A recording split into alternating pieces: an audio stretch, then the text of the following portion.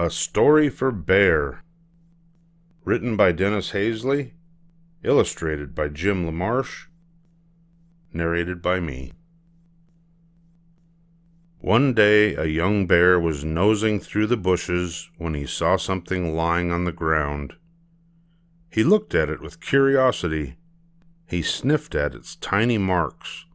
Then the bear took it in his teeth and brought it back to his cave. Through the years, the bear looked at the paper with wonder. It seemed as far away and mysterious as the moon.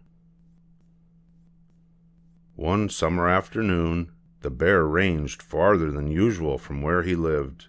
He followed a scent until he came to a clearing, and there he saw several strange things all at once. There was a cabin, and brightly colored laundry hanging on a line, and a woman. From behind the thick tree, he watched as the woman sat down and opened a mysterious square thing she was carrying. His nose tickled from the wonderful smells of the cabin bacon and coffee and bread. But he gazed only at her, trying to understand what she was doing as she held the book. He felt calm as he watched her. When she closed the book, he ran away. Day after day he returned. He managed to get closer to her and watched from behind a near tree, his thick bear head just peeking around. He had never seen anything like this. Sometimes, as she gazed at the book, she laughed out loud. Other times, she lowered it and looked away, but without really seeing anything, he thought. Still other times she appeared afraid and held it tightly.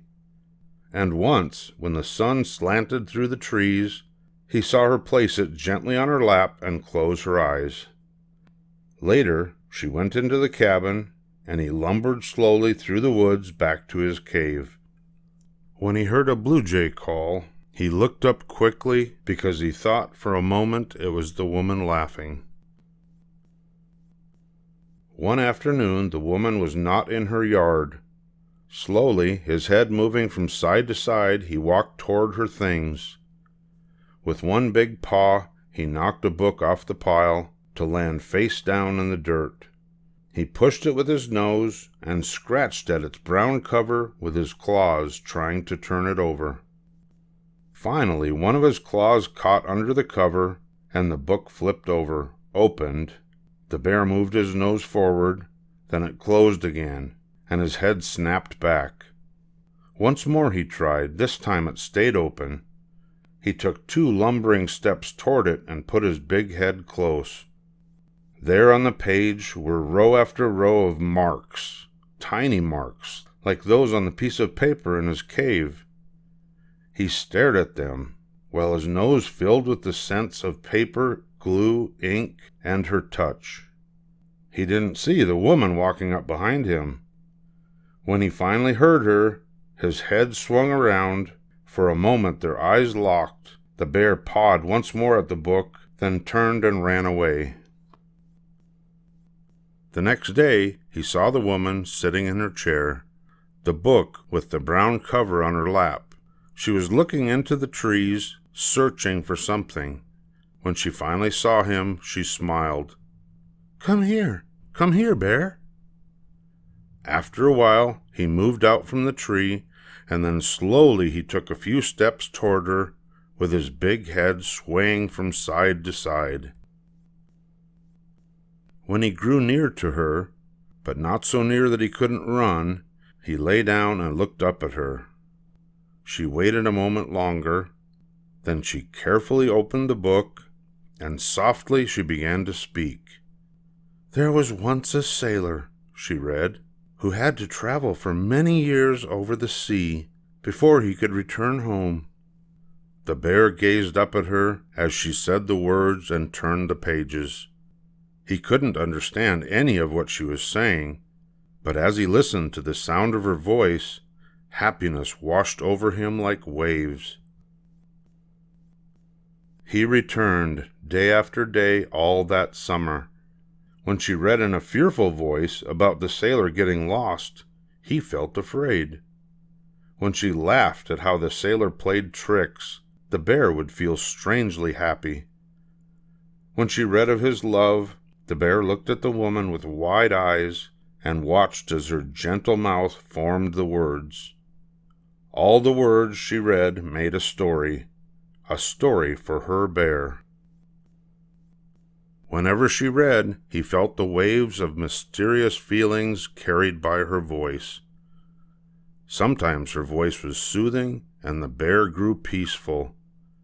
And sometimes she sounded excited or scared, and his hair bristled and he gave a low growl.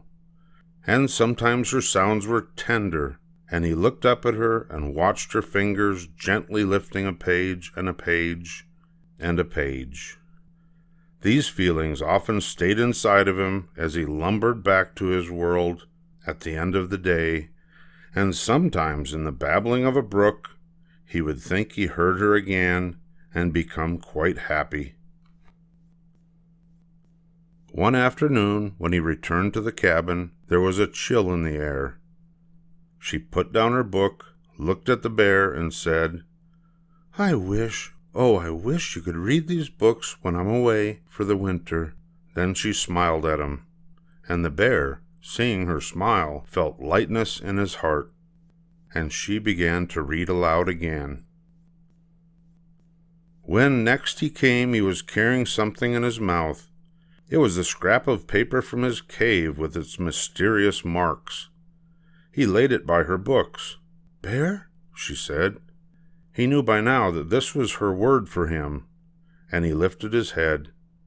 Bear, did you bring this for me? And then she read it in her gentle voice, as if it were a story he was giving to her. Dear Eliza, your father and I have been cheered by your letter.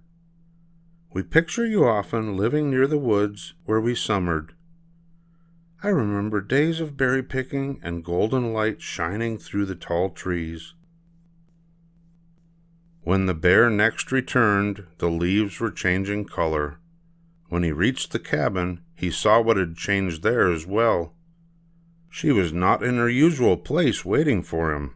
The bear walked into her yard, taking a few steps and moving his big head from side to side. He walked this way up to where her chair had been. There under the tree where she usually sat were her books. There were many of them, more than he'd ever seen, lying on a cloth, fallen leaves and pine cones on their covers. She had left them for him, along with a piece of paper, as if she wished he would read it. For my bear. He looked at what she'd left him with his big head close. He understood that she had gone as silence surrounded him. Then, tenderly, as tenderly as he could, he put his teeth around the book with the brown cover and carried it away.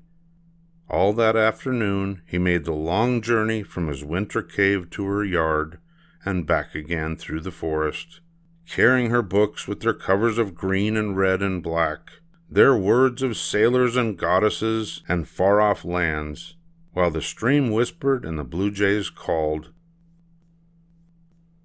That night, as the moon rose like a white page with mysterious marks, he lay among the hard covers of her books. Finally, he slept. And while he slept, he heard her voice, gentle and near, she was telling him a tale of adventure and magic and love.